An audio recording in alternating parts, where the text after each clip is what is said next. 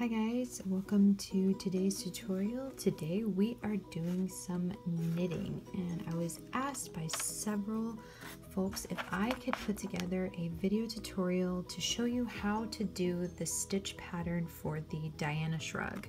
And if you want the written pattern, I will definitely link that down in the description box below. But for now, let's go ahead and see how to do this gorgeous lacy stitch that you can easily adjust to fit any project you're dreaming up. So this pattern works in a multiple of six plus four. So for the sake of this tutorial, we are going to cast on 18 plus an additional four. So that would be 22, I believe, if my math is correct. And let's go ahead and do that. So this counts as one, so one, two, three, four, five, six, seven. Let me tilt the camera up just a bit. One second. Okay, one, two, three, four, five, six, seven, eight,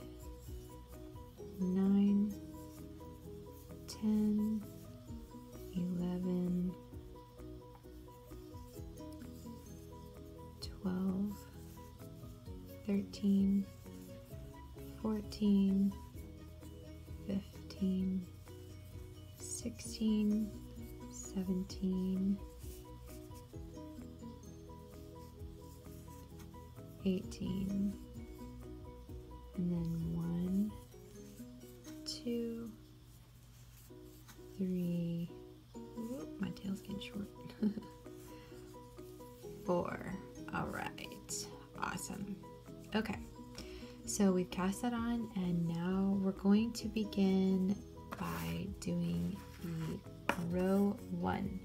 So we're going to start by knitting four and we'll do insert our needle now to secure our work, I like to grab the tail and the working yarn and do both of those for that very first knit stitch.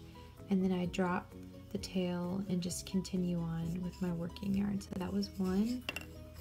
Here's two, three, and four.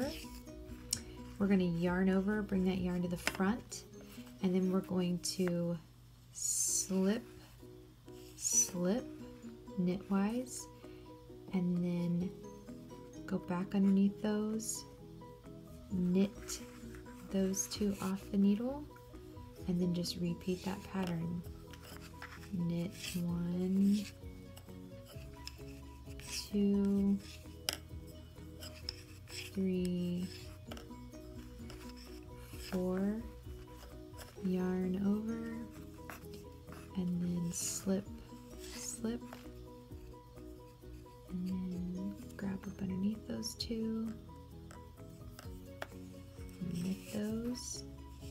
just continue that same pattern all the way across. There's three,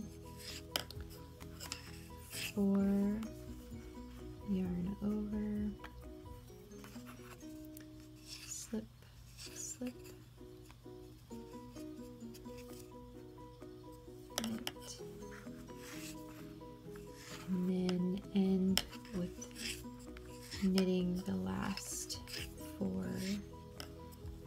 Okay,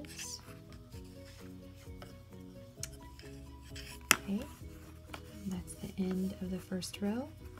We're going to turn and we're going to simply purl all the way across and I'll show you how that's done. It's just insert your hook keeping your yarn in the front and we're just going to purl those stitches all the way across like so. I always love seeing how other people knit and crochet. I love how these two fiber arts are so adaptable to what feels comfortable to a person. Um, I don't feel like there's any right or wrong way. I think you've got to do what feels right in your hands. Um, kind of like people that hold their pencils and pens all different ways. It's just like some some ways work for some people and some ways don't. So if you've been knitting for forever and you are working your needles and your yarn different than me, just know I'm self taught and I kind of just picked up my own style and way. And I'm okay with that. Alright, so we're coming up to the end. And remember, we secured that tail, so um, we're going to knit. This is really one stitch because we did the tail with it. So you're going to knit under both of those. What looks like two, but is really one stitch. And you can pull that tight. Okay. So here we are. Um, we're looking good. And now we are on row three. And row three is very simple. We're going to knit four, one, two, three, four. Then we're going to knit two together, and that's basically how it sounds. So we're just going to knit under two stitches, knit them both together, and then yarn over, and then start the repeat. Just knit four, one, two, three, and four. And then we're going to knit two together, yarn over. Oh, my yarn's all tangled up. Ah! Just a second. Technical difficulties. Oh my goodness. This yarn is an Australian yarn and I found it at a Joann's and it is like it is some of the softest merino like wool that I have found.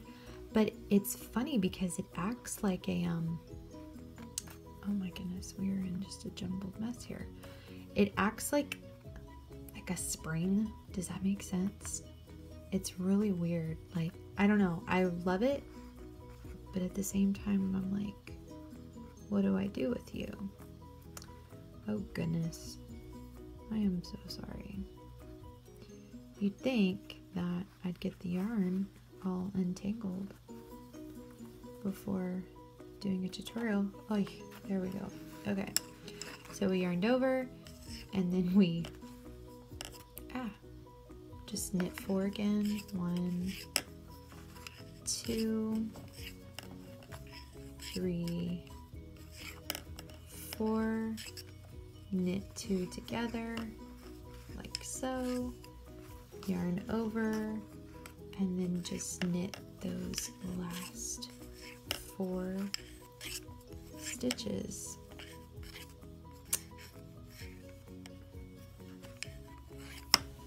And then the last row of the repeat is just simply a purl all the way across. Super simple. I love, love, love it, whether it be crochet or knitting, when something looks really complex and then you do it and you're like, oh wow, that was really easy. I just, I love that. I absolutely love it when that is the case. And I've got some yarn going bananas over here. But yeah, okay, so this yarn, let me tell you about it while we're just purling along. It's like called Cleckiston or Cle Clechurin. I know I'm butchering it, but it's just, it feels luxurious and the packaging looks luxurious. And it is on the expensive side, I will say, like one little cake, which I think is about 140 yards, is like $15, which that's a lot. $15. I mean, can you imagine if you wanted to do like a sweater or something, it would cost like an arm and a leg. So I'm going to go through the pattern just one more time, just so you can kind of see. Do it again, because like seriously, it's just a four row repeat. It's super easy. Okay, let's see if we can kind of get some definition in our stitches. You can kind of see a little bit, we've got the little holes and basically what they'll do is they're going to kind of zigzag up. So let's work up a couple more rows so we can see. So we're going to knit, we're going to knit for one, two, three, four. We're going to yarn over. And then we're going to slip, slip, and then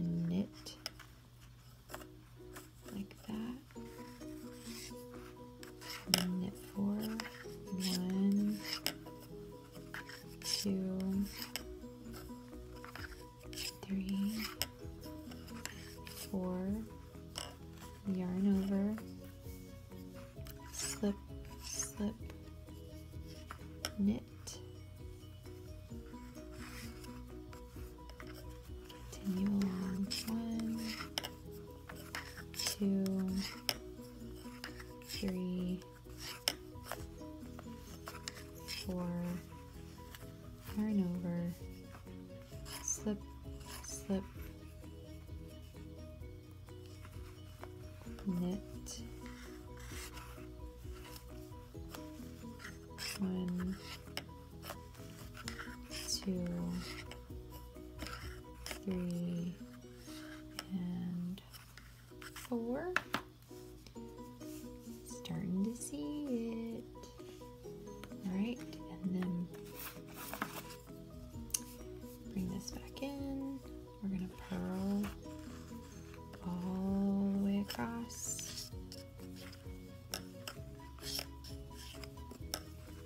I'm really trying to get into the habit of being more equal in the knitting versus crochet projects that I do because I really do. I love knitting about as much as I love to crochet. Like, and it's funny because I learned to crochet first. I taught myself to crochet first. And I put off knitting for the longest time because I just talked myself into the fact of believing that it was just too difficult. Because I would always hear, oh, if you learn to crochet first, you're going to think knitting's impossible. Or if you learn to knit first, you're going to think crocheting's impossible. And so I just kind of bought into that and was like, it's going to be too hard. And then one day I was, I think I was like looking on Pinterest or something and I, I saw something and there was only a knitting pattern. And I was like, that's it. I'm going to learn to knit. This is ridiculous. And I did.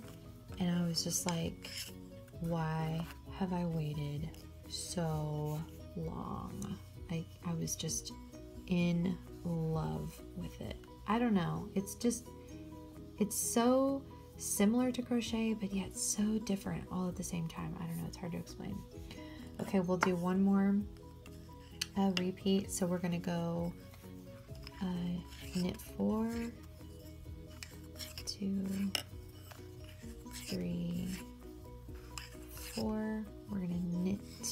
together. And then yarn over and start again. One, two, three, four, knit two together,